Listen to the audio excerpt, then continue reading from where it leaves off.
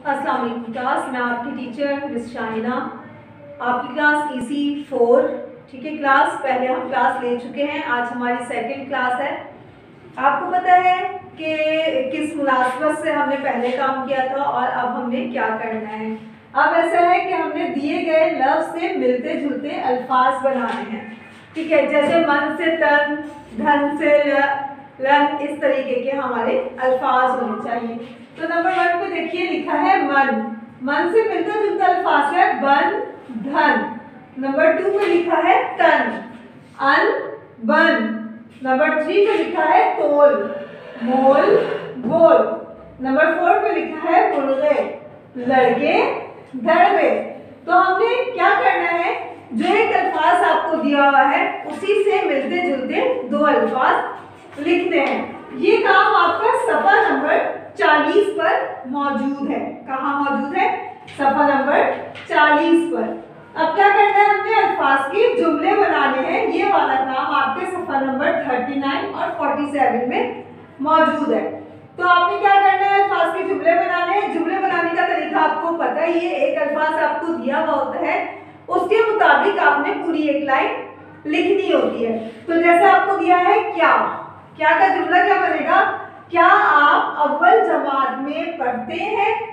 ज़ाहिर बात है, जब क्या बोला गया है तो वहाँ पे आ जाएगा क्वेश्चन मार्क क्यों? क्योंकि वो आपसे पूछ रहा है, क्या आप अव्वल जमात में पढ़ते हैं?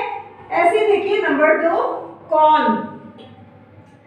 आपका स्कूल कौन सी जगह पर है? नंबर थ्री कब? बच्चों के इम्तिहान कब होंगे? नंबर फोर कहा? आज आप कहा जा रहे हो? नंबर फाइव खाना।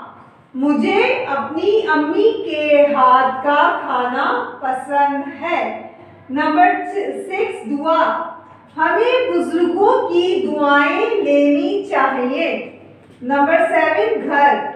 हमारा घर बहुत खूबसूरत है। तो ज़ाहिर बात है, जब इस तरह से हम जुमले बना रहे तो हमारे लिए बहुत आसानी होती है हर तरह की जुमले बनाने में। आपको ये बात समझ में आ गई कि मिलते जुलते अल्फाज किस तरीके से बनाए जाते हैं? फिर आपको समझ में आया कि जुमले किस तरीके से बनाए जाते हैं। मिलते जुलते अल्फाज जो है आपके सफ़ा नंबर चालीस में मौजूद है और अल्फाज के जुमले आपके सफ़ा नंबर उनचास और सैतालीस पर मौजूद है। बच्चों, वीडियो को गौर से देखिएगा और उसके बाद कमेंट्स में जाके अपना नाम और क्लास लिखिएगा ताकि आपकी अटेंडेंस हो जाए।